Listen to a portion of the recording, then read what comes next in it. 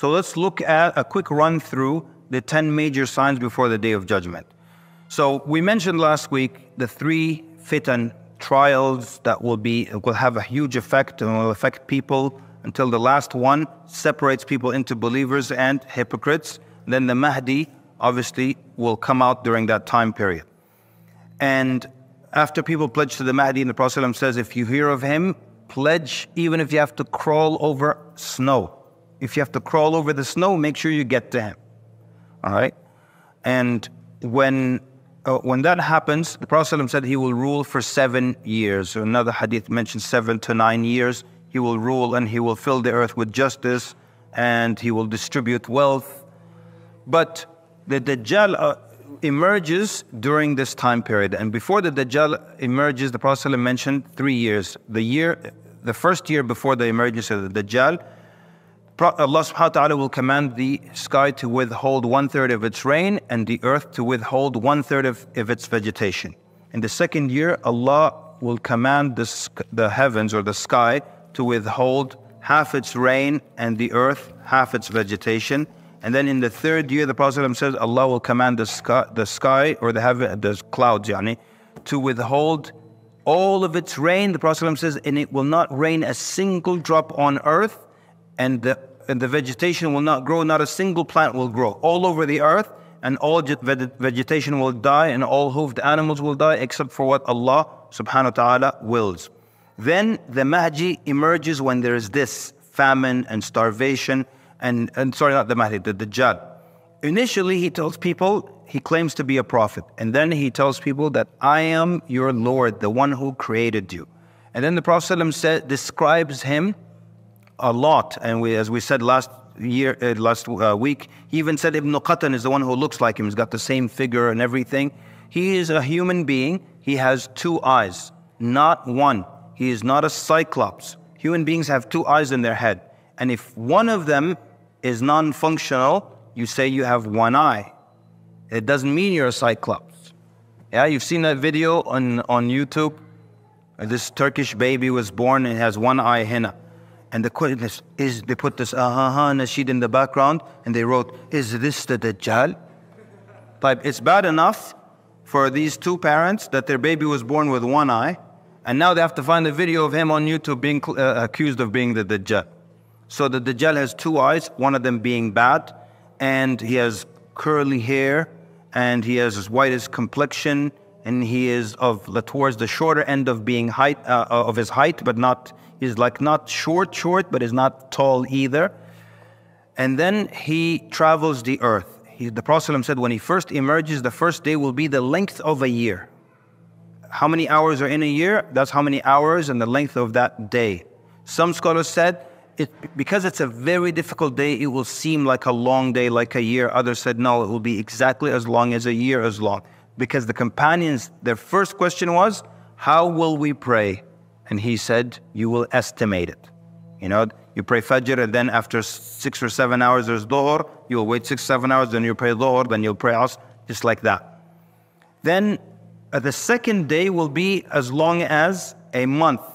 And then the second, the third day will be as long as a week, and then the fourth day will be as long as the rest of your days. And the scholars say it gets shorter because the falsehood by its nature is that it gets weaker. So he's getting weaker and weaker. He will travel the earth in 40 days, and he, there will not be a village except that, or city except that he will enter that city except Mecca and Medina. He cannot enter the two. He cannot enter the city of Mecca and Medina. He cannot. He can enter the other cities, but he cannot enter Al Masjid Al Aqsa. So he can enter the city, but not Al Masjid Al Aqsa.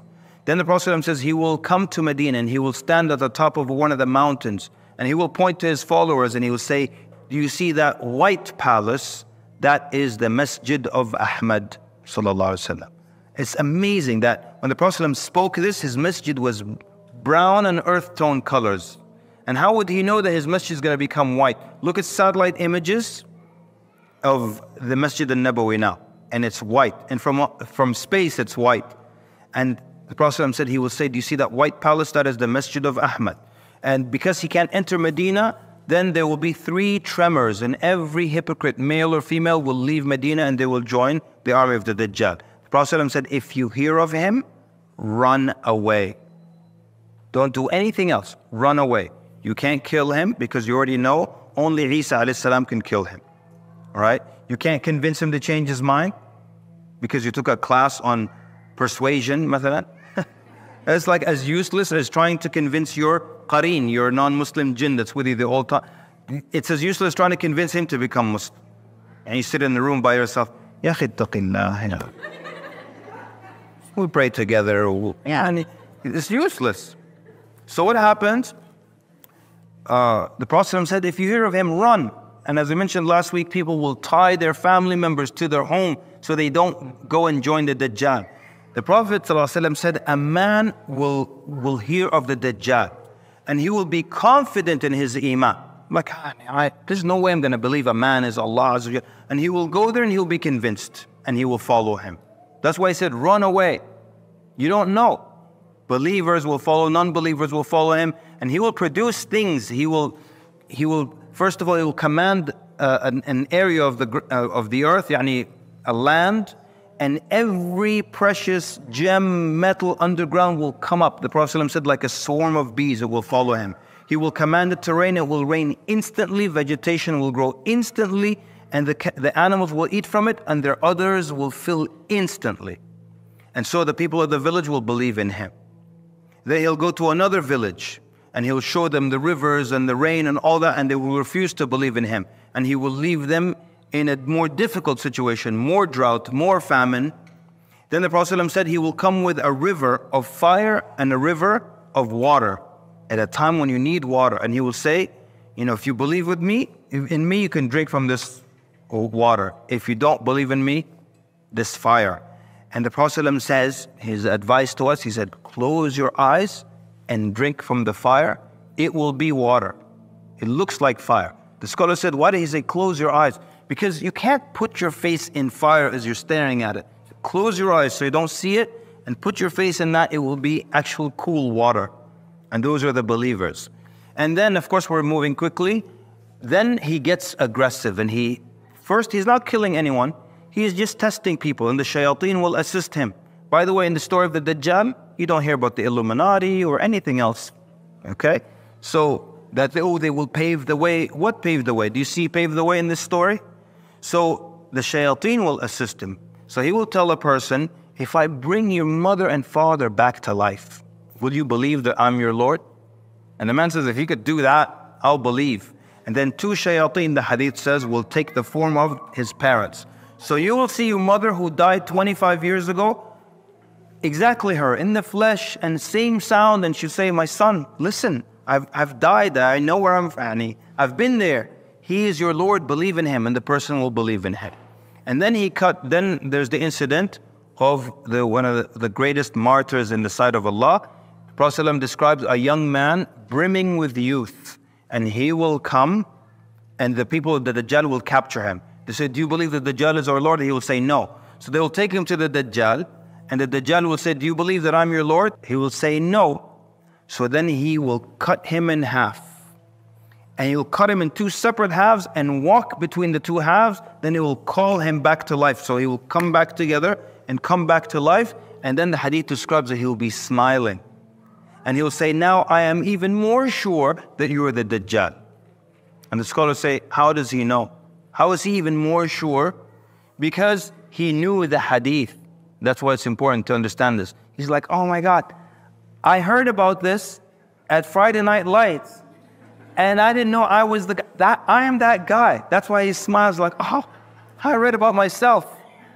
So then the Dajjal now tries to, to kill him, tries to cut his neck, but it will become of brass. Now, there's something interesting here and so he can't cut his neck. The Dajjal can't cut his neck. This is very embarrassing for him because his believers think he is Allah. Astaghfirullah. He is God who created this guy, now he can't kill him? Very embarrassing. But what's interesting, I always think about why, why is it that his knife just wouldn't work? Why does his neck change to brass? Because that's visible. Everyone can see that his neck changed to an actual metal, and now nothing works. So now this is embarrassing for the Dajjal, so he takes him and throws him into a fire. But the Prophet said he will actually be throwing him into a Jannah and he will be of the greatest martyrs in the sight of Allah.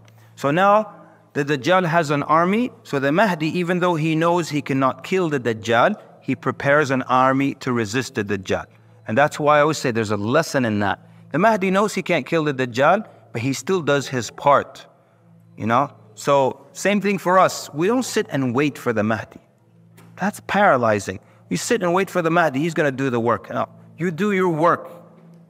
Even if it's something the Mahdi can do, you do your part, you resist. So the Mahdi puts together an army, and there will be a battle between the believers and the forces of the Dajjal. And the battle will be so severe that if a bird flies over the battlefield, from the heat and from all the projectiles, it would drop dead. And one third of the army will be martyred. And the Prophet said they, they will be of the greatest martyrs in the sight of Allah. And one third of the army will uh, run away. And the hadith says Allah will never forgive them. And one third lives to fight the next day. So the next day they fight and they break into that. Martyrs, those who run away, those who remain. You see, the group is getting cleaner and cleaner also. Then on the fourth Fajr, so like, uh, or maybe it's the third day of battle. So basically, what happens? Then, uh, like I described earlier, they make the iqamah, they're about to pray, pray Fajr, and then they see the sky open up. And the Prophet describes they will see Isa salam descending with a hand on the wing of each angel. He's with two angels, hand on this wing, hand on this wing, and he's descending. Prophet describes his hair. And every time he describes him, he describes his hair. And when he describes the Dajjal, he describes his hair. So that people don't be confused between Al-Masih, Isa ibn Maryam, and Al-Masih, Al-Dajjal. This guy has curly hair. This guy has long, soft hair. كأنه خرج من ديماس It's as if he just came out of a shower basically or a bath where your hair is still limp and wet always describe his hair like that long and limp and then even describe the color of the garment he's wearing lightly yellow and a light yellow on it and he comes down like this when he descends down imagine seeing that oh, amazing huh seeing two angels with your own eyes and seeing Isa alayhi salam so when he lands the believers, they leave the prayer lines and they rush to him. And the Prophet said, He will wipe on people's faces and tell them their, their place in Al Jannah. Wipe on your face, tell them your place in Al Jannah. Wipe on your face. I always say, imagine missing that Fajr. you come back, your roommate is still sleeping. He's like, Hey, you missed Fajr. Like, yeah, I'll make it up. No, no, Habibi, you, we saw angels, ya akhi. Isa told us our place in Al Jannah. So then and Mahdi would say, Taqaddam ya ruhallah and he will push him like from this shoulder here. He'll tell the, he'd say, the prayer was, the Iqama was made for you. And the scholars say a number of things. Number one, Isa alayhi salam prays behind the Mahdi to indicate, I am not coming as a prophet, but I I'm coming as a follower of your prophet sallallahu alaihi wasallam. So the scholar said something interesting, that Isa alayhi salam is a prophet and a sahabi. Yes, he qualifies Sahabi is someone who met the Prophet ﷺ while he was alive. He met him during the Isra and Mi'raj journey and believed in him. And when the Prophet ﷺ died, he was still a believer in him. So he's a Sahabi. And someone asked me once, do the people who saw Isa become tabi'een? No, they don't. Become tabi'een. So uh, that, that's one. Two, to, to, because the scholar said, Al-Mahdi has Al-Quran. And Isa salam has the Injil. And which one is superior? No doubt. So he prays behind the Mahdi, then we don't hear anything else about the Mahdi. But he comes as a warrior, not turn the other cheek or all this others. He comes as a warrior. The Prophet said he can kill the Dajjal just by looking at him. He said, if he looks at him, ذاب كما يذوب الملح في الماء. يذوب الملح في الماء. if he looks at him, he will dissolve just like salt dissolves in water. So he can kill him just by looking at him, but he doesn't kill him by looking at him. He takes a spear and he chases him. Oh man, there's so many interesting things. Like where Isa comes down is a very interesting story. Comes down near, should we go into this? There's so little time. He comes down near the white minaret in the eastern side of Damascus. In the year 741 after the Hijrah, Ibn Kathir rahimahullah says, the Christians in Damascus, with no right, destroyed a minaret for the masjid in Damascus. So the ruler, as a punishment, made them rebuild it from their own money. So they rebuilt it from a white stone or white marble. And Ibn Kathir and others were alive, when they saw that, they're like, wow, a white minaret on the eastern side of Damascus. Google white minaret, you'll see it today. It's still standing. So it's so, the irony is beautiful. Like Isa alayhi salam, that the Christians claim to follow, will come down on the side of the Muslims at the site that you paid for from your own pocket. It's so in your face, I don't know. So basically, then, uh, but let's skip, let's go to where Isa alayhi salam takes a spear and he chases the Dajjal. And he catches up to him near the eastern door of Lud in Palestine. And then he stabs him with the spear and he raises the spear and he shows the blood to everybody. Why? Because if he just looks at him until he dissolves, his followers are going to say, Nonsense. Oh, our Lord left the worldly body and he ascended and went back to the heaven, right? But if they see blood, they can say, oh, that wasn't God. God can't be killed by a spear. And they will realize that when he lifts that blood up in the spear, they will scatter everywhere. The army of the Dajjal scatters everywhere. And that's when the Muslims go after them and they finish them off. And then the people, then the hadith says, فَبَيْنَمَا هُمْ كَذَلِكَ while they're in that situation, Allah announces to them that I have let loose servants of mine that nobody can withstand. Uh, because Isa salam, he comes as a warrior. Before killing the Dajjal, he kills with his breath. He comes as a warrior, and it's the next day of battle, right? So when the battle starts, from his breath, everything until the horizon, every soldier until the horizon dies. You just imagine like dominoes. Like he looks this way, and just like dominoes, tick, tick, tick, until as far as his eye can see, people drop. Imagine a soldier like that in your army. You know, he's blowing this way, blowing this way. They're getting close from this side. You're like, uh, Isa, khair, just look this way. He looks this way, people drop. So look at the power that he has here. Then he kills the Dajjal. But even though he could kill people with his breath until the horizon, Allah tells him nobody can handle them.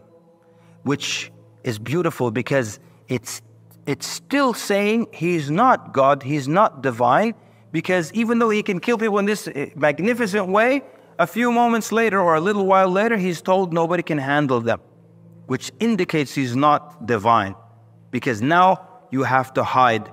فَأَسْرِ بِعِبَادِي إِلَى الطُّورِ So he takes the few believers who are with him and they go hide into the Mount of At-Tur. The scholar said, how will the Mount of At-Tur fit everybody? two opinions. One says Allah will make it fit everyone. The second opinion says it might be another mountain at that time that is called the Tur and they will hide there. Ya'juj and Ma'juj will come out. they will come out and they will break through the physical barrier, not a figurative barrier. You all read Surah Al-Kahf every Friday. Is that barrier actual or physical? Yani, uh, figurative.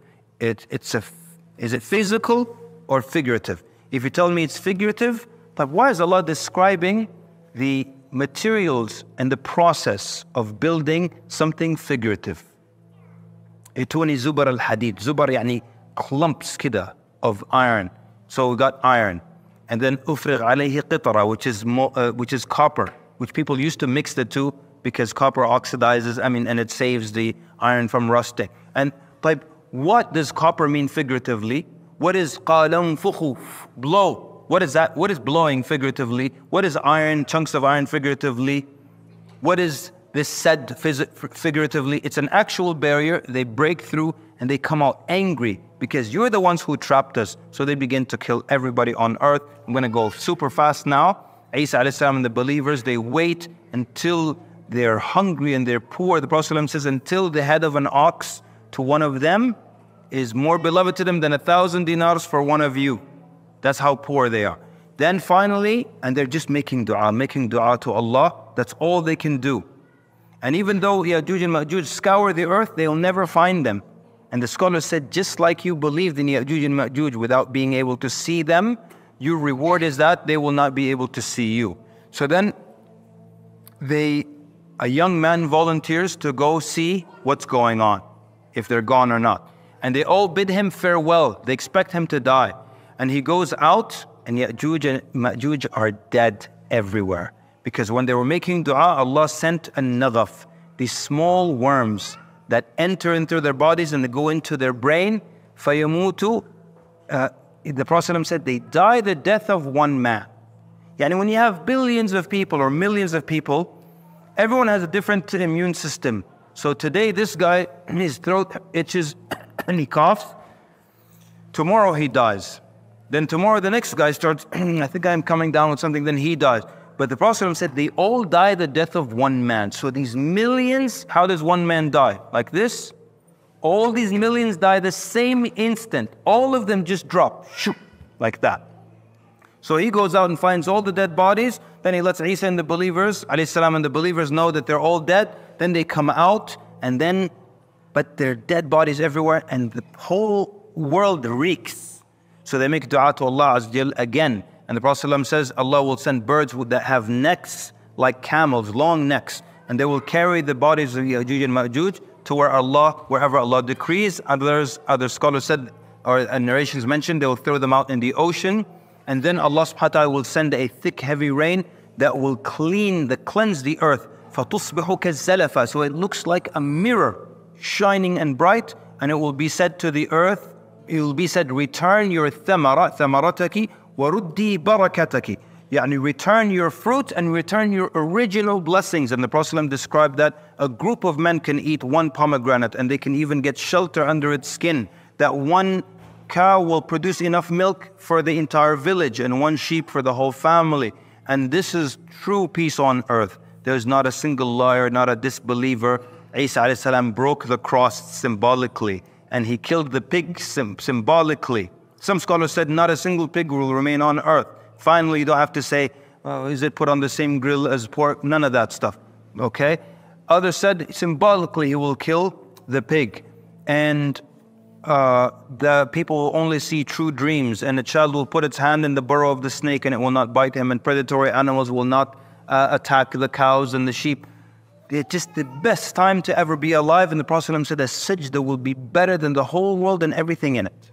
And you just imagine that. You make sujood, you're not in a rush to get out of it, to run to the market or to do this. Just that's it. Only the best of people are alive. And then Isa salam remains for a number of years and he makes Hajj and he visits the Prophet and he gives him salam and the Prophet responds the salam. Then he is, uh, some scholars said he will probably get married. We don't know. And it's not acceptable to make dua to be his wife. Scholars actually mention that because people say, Can I ask Allah to be the wife of Isa when he returns? They said it's not from the adab of dua to ask, Ya Allah, I want an orange house in Al Jannah. But if you get a purple one, you're like, I don't want it. It's not good adab. So he will be buried. This, the scholars had this, uh, yeah, let's call it a theory or an idea for a long time. There's no clear evidence for it but they believe that he will be buried possibly with the Prophet and Abu Bakr and Umar because there's a space for one body there. And they said, most likely people will think, let's bury him with the Prophet. Allah Azza knows best. And then, so when he dies, the Muslims will pray over him and bury him. Then we've got generations. And we start to see evil come again and wickedness come again and the shaitan's influence rise up again and killing and lying and cheating. There's, see, people forget the timeline.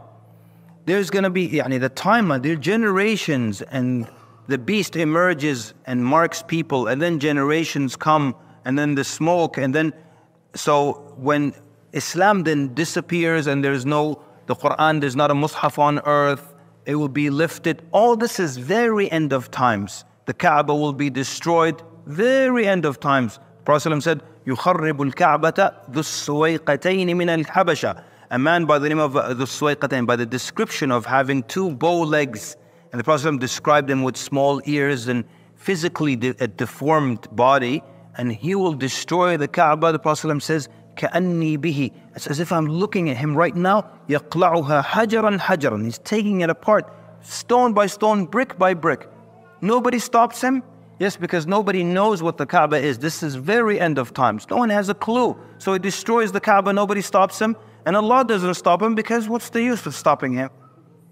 Allah stopped Abraha and his elephants because if they destroyed the Kaaba, they would have threatened its existence. They would have switched it to the one in Yemen.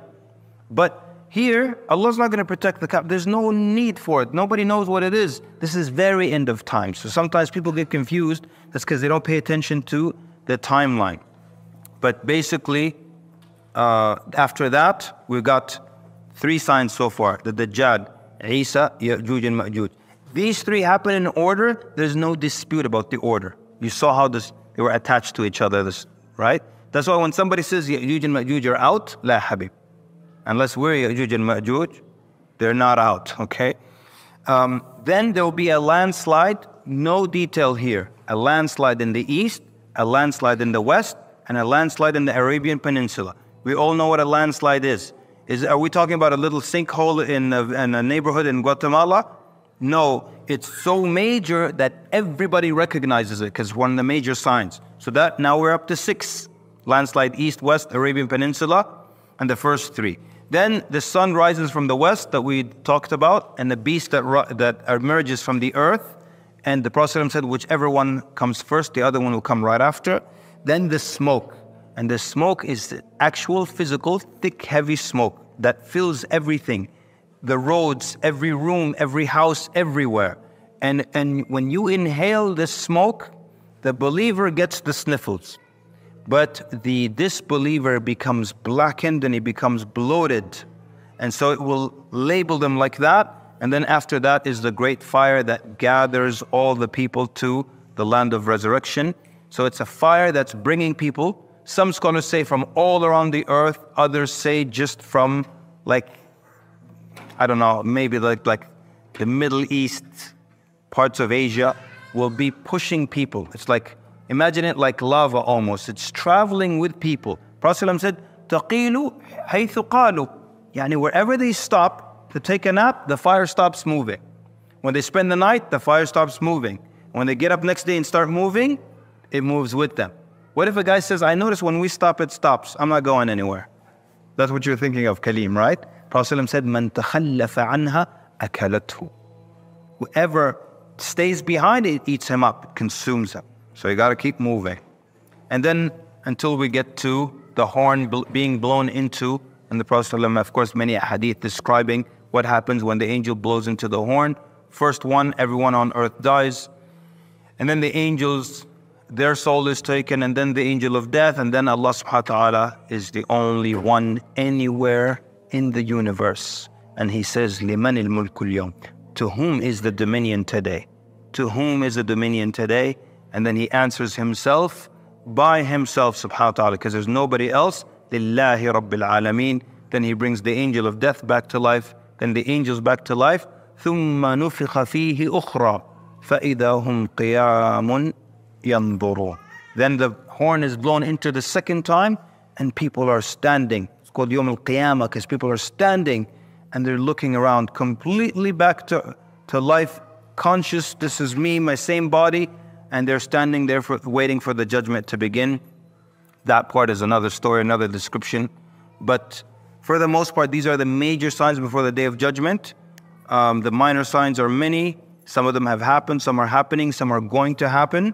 But uh, are, the, are we at the end of times? One more time. We said if we look at where we are in the age of the earth, we're towards the end of the age of the earth the description of our world today? Is it the description of the world where all these things happen?